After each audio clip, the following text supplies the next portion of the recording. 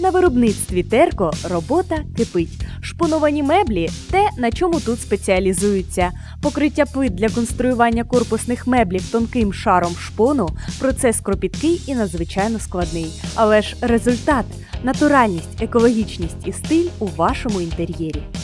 Это срез дерева. И если мы шпон клеим на плиту МДФ, то по, по сути мы получаем абсолютно экологически чистое изделие, в котором не содержится форми- формальдегидовых смол, ну и при надлежащем покрытии является абсолютно безвредным для человека. Шпон може бути натуральним або штучним. Плита, на яку далі наклеюватимуть шар шпону, може бути ДСП або МДФ.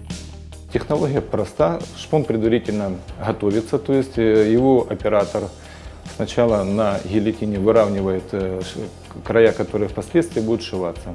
После этого наносится клей на поверхность и затем помещается в пресс.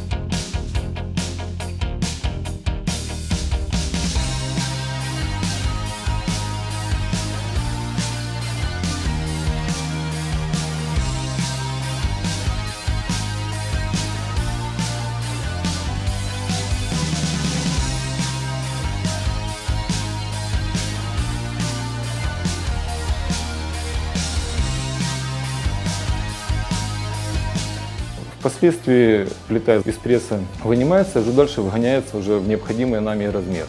Шпоновані плити універсальні. Їх використовують навіть для обробки стін або у створенні міжкімнатних дверей.